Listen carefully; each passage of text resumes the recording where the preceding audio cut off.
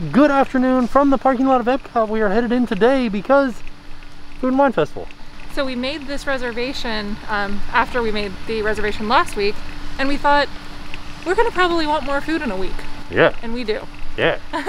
Plus we're gonna go the other way this time, like yeah. counterclockwise. So in our last video, we ended up having to leave because Jackson really needed to have his nap, and he doesn't really take his naps very well in his stroller, so we ended up just going home. And we said, we're gonna do the other side because we missed half of the World Showcase. We missed three quarters of the World Showcase. yeah, we missed a lot of it. Yeah, so we're doing that today. All right, we are inside of Epcot now. Gonna make the first stop that everybody makes, The bathroom. the bathroom. So I wanted to tell you, so they had to do a secondary reading of my temperature. They couldn't get my temperature the first time, and they had to take a reading behind my ear. Yeah, it wasn't like they set you, because there is like a cool down tent for people that have too high of a temperature. Mm-hmm. Yours wasn't like that. Yours was like she checked it on her forehead and it gave her an error or something. She's like, let me just check it behind your ear. But that was just something that's never happened to me before, so I wanted to tell you guys. Yeah. So you might have to have it taken behind your ear if they can't get it on your forehead. Side note, this place looks like a ghost town. I know, I'm actually like super excited that it's less busy today than it was last time. We'll see. Once we get out the World Showcase, it might still be busy, but right now, n- nobody here. All right, so we made classic mistake. We came super hungry, and so we need to get something like right now. So first booth that we're gonna come across is the Hawaii booth. So we're just gonna grab the things that we know we love there um, and then get our game plan together for the rest of the day. So we won't really talk about that food, but um, we will enjoy it. Oh yeah. so I found that there are some booths that only open on the weekends, and there's some that are just not open yet, like this one. No idea what this booth is gonna be or when it's gonna open. Now that we've made it into World Showcase, it is a little bit busier out here. Oh yeah, it's very deceiving from the front. So we had our food from Hawaii. We didn't show it to you, but I will link the video down below where we ate it last week and it was just as delicious. It was very good. Maybe even better. Um, so now we are trying to get our game plan. We were thinking maybe we'd get the filet from Canada, but it's very hot. Very hot today. So maybe we'll skip that. We might rethink it. We might come back to it. Maybe. yeah. But I do know that we should go inside of World Showplace and get some stuff from in there, like soak up some air conditioning for like five minutes while we pick it up. Then we'll come back outside and we'll eat what we get. Well, because so the last time we were here, we met one of you and you said to try the lobster mac and cheese, and I love mac and cheese and I love lobster, so I want to try that. Okay, and just as like a warning, I got the buffalo mac and cheese last time and it wasn't good. But I feel like you said it was good, but it wasn't that good. Okay, yeah, that's fair. But then they also have the cake pops, so Yeah, I want to get those cake pops for sure. There's I, there's a few things that are that are drawing me in. Yeah. Here we go, World Showplace, It looks like they're getting ready for a long line, right? But there's not anybody in line right now. and maybe that was over the weekend. Maybe, yeah, that's a good point.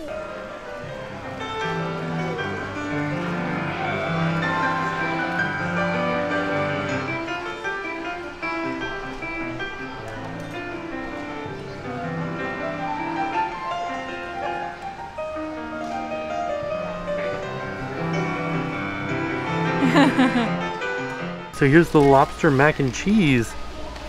Looks pretty okay, actually, if you like lobster.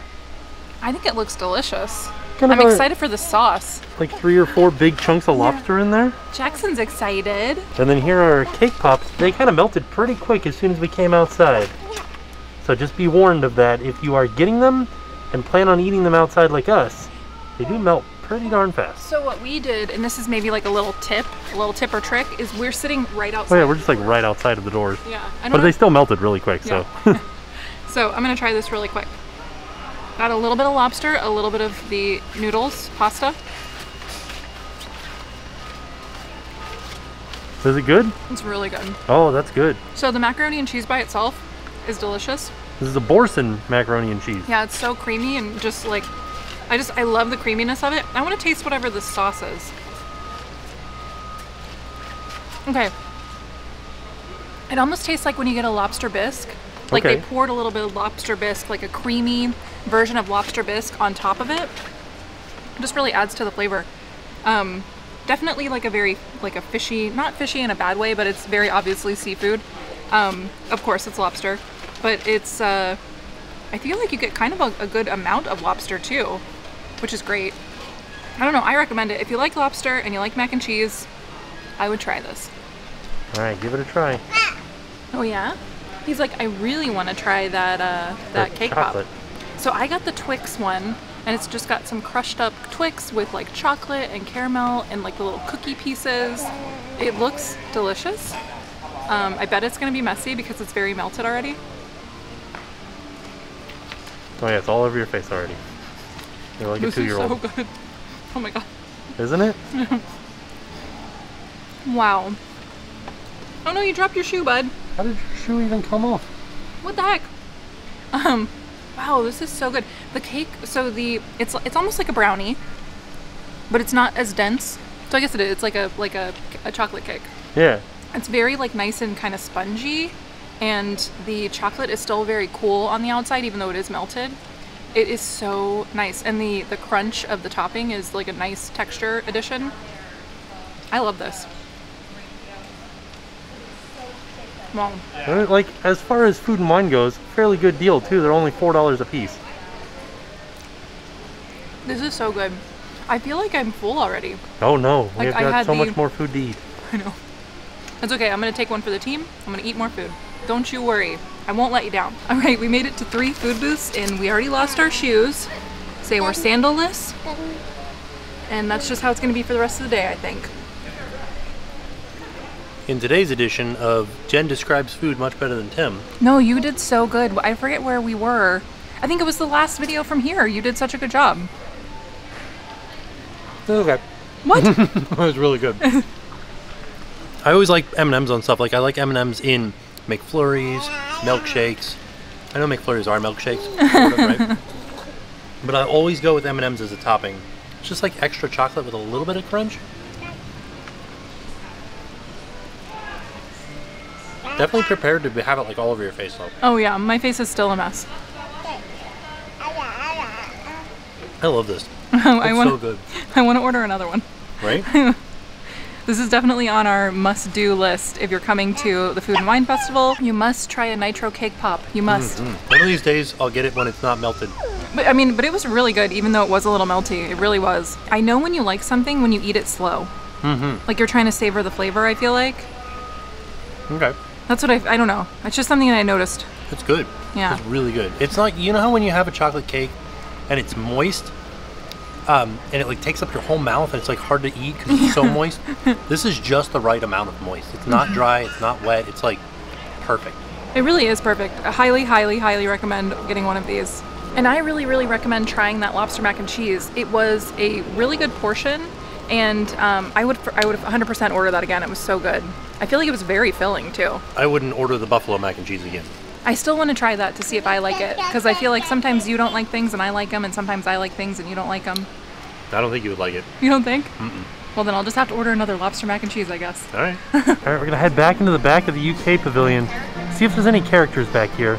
Seems like a lot of people are headed back here. You never know. We might see somebody. Who will we see? Maybe Mary Poppins Oh, or Alice. think Jackson's never seen either of them, so that'll be cute. Yeah. There goes Alice. We just missed her. Enjoy your tea. Thank Oh, you. Thank you.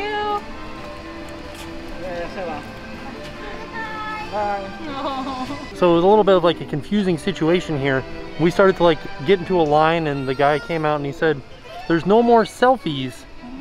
And we're like, I don't understand what that means. What he was trying to say is that she was leaving. She was going backstage. She was done for the day or for the moment. And it, I, he didn't really communicate that well to us, at least. So if they say, all right, we're not doing any more selfies, that means she's ready to, she's getting ready to go off stage. So that's a little tip for you. Also, because of the current world situation, they don't have any set times for the characters. So we have no idea when another character is coming back out. My initial thought was like, oh, let's ask him when she'll be back because I really wanted to get a picture of Jackson, like seeing her, but they won't tell you. Right. So, on to the next place. You want to get something from France? Um, I want to look at the menu at least. Okay. So we made it to the France booth, and it is a very long line. I really did want to try that dessert because he had a dessert here last time that you really liked. Um, maybe it was the time before last time that you really, really liked, and I wanted to try it, but I don't think today's a good day for that. Yeah. So, on to the next one. Okay. I feel like we get the same thing every time. Got to get this cheese bread. Well, I haven't had it yet, so Right. I, I had to, I'm a taste tester. I gotta try it. Okay. And I just have to try it because it's good. Quality control. Got our cheese breads. I got one for me and one for Jackson. Gonna try some cheesy bread. So let's take a big bite. First of all, it looks like um, when they fill a donut. Is that how they make these? Maybe.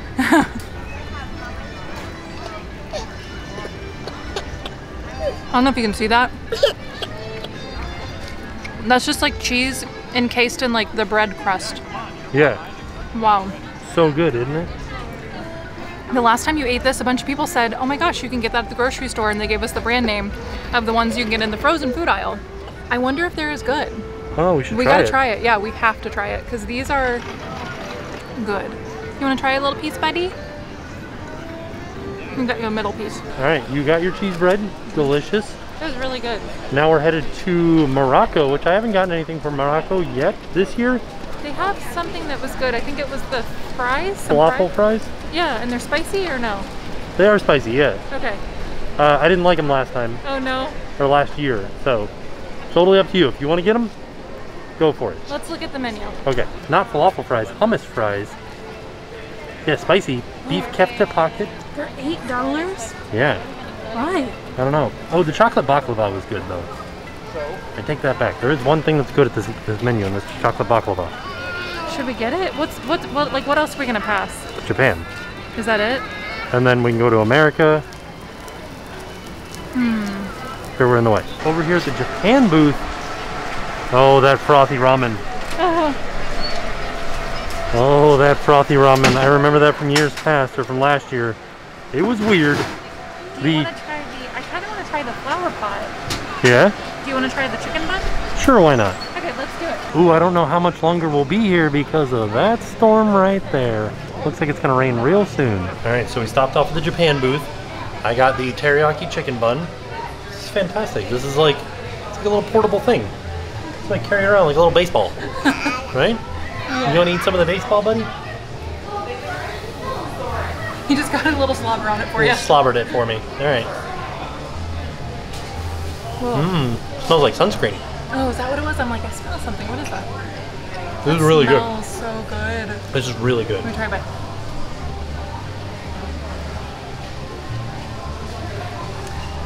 That is nice. That's very good. Mm, yeah.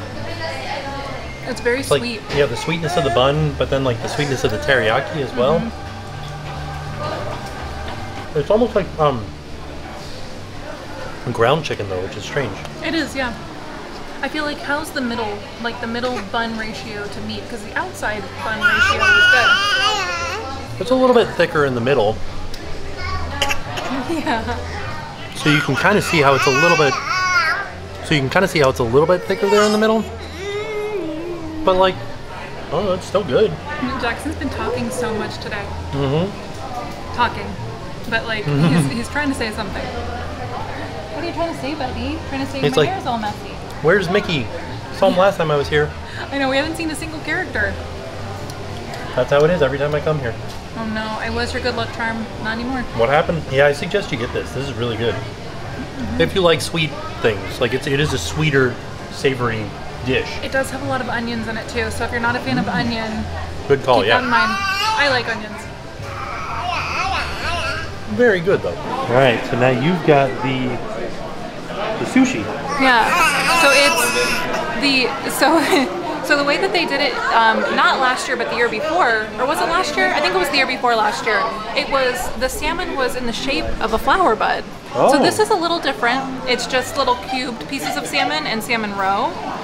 Um, but it, it looks good. I think you get less salmon this year. Okay, let's see. Hmm. So it's salmon, salmon roe, rice, a little a little piece of spinach for the faux like little flower leaf, and then poke sauce. It's kind of sweet. I thought it would be spicy for some reason. And then it has the um, chirashi. I don't remember the name of the spice. There's a spice in there too. A little bit of wasabi. Ooh. It's actually pretty good.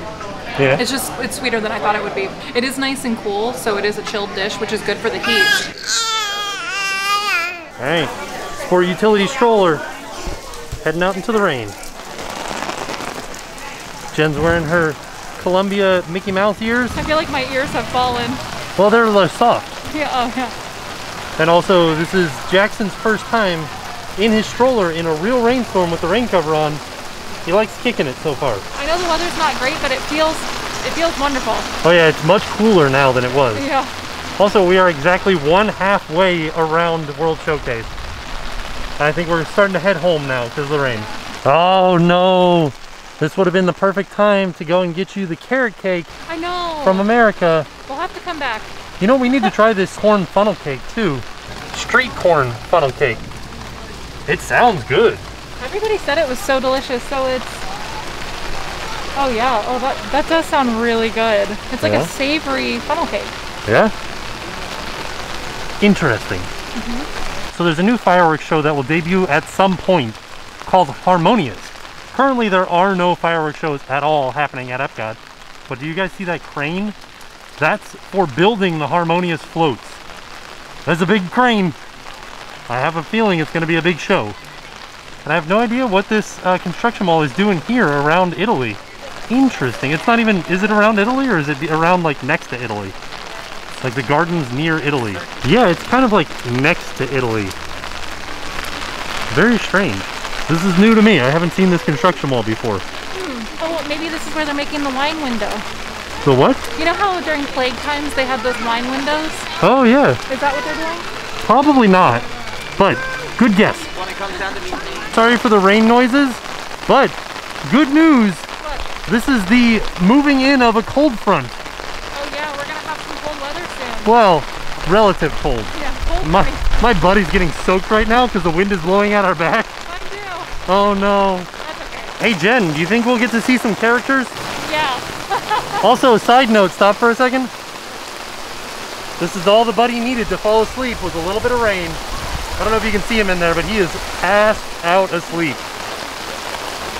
Oh, so how are you doing with your mask? Because your mask is getting wet. Oh, I'm okay. Okay, that's good. Good old Florida. It's a good time, right? I mean, I don't mind it. But if you're on vacation and you're not used to it, this might not be very fun. Right? My food and wine hill that I'm going to die on is if you don't get anything other than one dish, get it from Flavors of Fire. If you only go to one booth, go to Flavors from Fire. Real quick question. This is this is Dante from Oh no, it's pita. Pepita, but well, it's the same, Oh, right? I don't I know. know. Spoiler alert. I never sorry. saw that movie. You never saw it. So, Pepita from uh, Coco, right? I mean, it says it's pepita on there. Yeah, it just doesn't look anything like that character. But I guess like Sully doesn't look like Sully either. Yes, he does. He looks like a little cute Sully. Oh, okay. We came into into Mouse Gear and it's definitely not as bad this time. It's still a little bit crowded, which is interesting because it's raining, but not nearly as bad as the last time we were in here. Every time we come to Epcot, I'm always so amazed at the size of these podocarpus. They're so massive. Oh, we can, for a second, we can see inside of Cosmic Rewind. Can't really tell what's going on in there, but we can see inside. Oh, also, I did want to mention that the best spot during a rainstorm is underneath Spaceship Earth. It does such a good job of protecting you from the rain, unless you're standing right there in the middle, where all of the rain comes out. Like it all like travels through these channels on the outside of the ball, and it ends up right there at the entrance to Spaceship Earth. All right, we are headed back out to the car now, but we're gonna end the video at home just because we got to get into the car and get the AC going and get everything wet inside. All right, we're it's actually the next day. Don't tell anybody. uh, yesterday at Epcot was fantastic. We had a lot of fun. Um, I think the one thing that was really cool, so I've already edited the video, and I think the one thing that was cool watching the video was it was neat to see just how quickly Florida weather changes. Right? So I think this video was a really good, kind of really good at showcasing just how fast the weather can change. So if you are planning a trip to Florida or you aren't from here, that might be something that you might not be ready for. Yeah. I would always have an umbrella.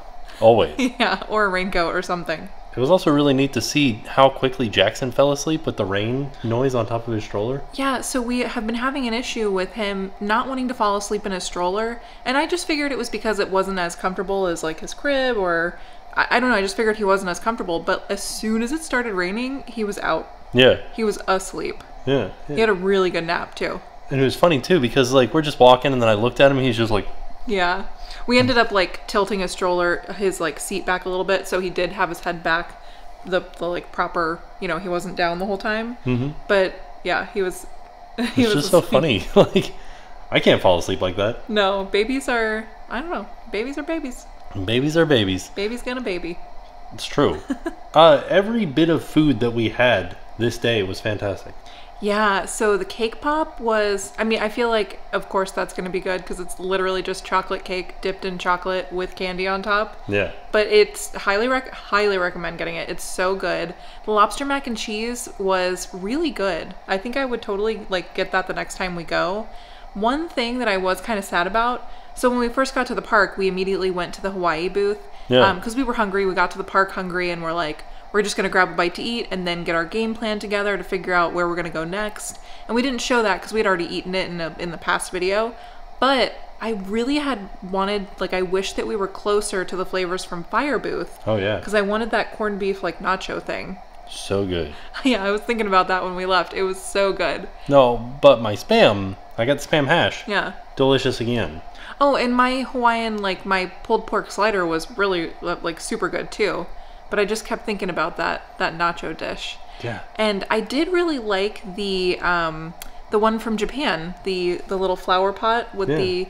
So I we didn't really show you like a good shot of it, but it had a lot of rice, so it was very filling. So I feel like the dishes that I had this day were very filling. Yeah. Yeah, had had the pasta from the mac and cheese that was very filling. The rice from the uh, little sushi flower pot was filling, and the actual salmon was delicious too, as well as the poke sauce. It was just an all-around really good dish from Japan. Yeah. And of course, the Bra- Brazilian cheese bread, delicious as always. That was so good. I forgot how good that was. Yeah. Delicious. We ordered two, and I told Tim I was like, we shouldn't have ordered two. We could have just split this. I'm glad we got two. Yeah, no, I ate them all. I'm like excited to go back again. I don't know why, but like this food festival, th- I've only had one trip to the food festival that I like had food that I wasn't 100% excited about. Mm-hmm. But the last two times that we've gone, delicious, delicious, delicious food. The food was so good. I, I really like the idea of being able to just go like take a quick trip and have lunch. You know, like just, Well, with a reservation. Oh yeah, yeah. You have to make a reservation to the park, of course. But I like being able to just like go grab a couple things from a couple of uh, booths and and just have like a, a lunch Yeah. or dinner. It's good. It was. It was nice. Although it was a short trip because of the weather, we still had an awesome day. Great food. Great time.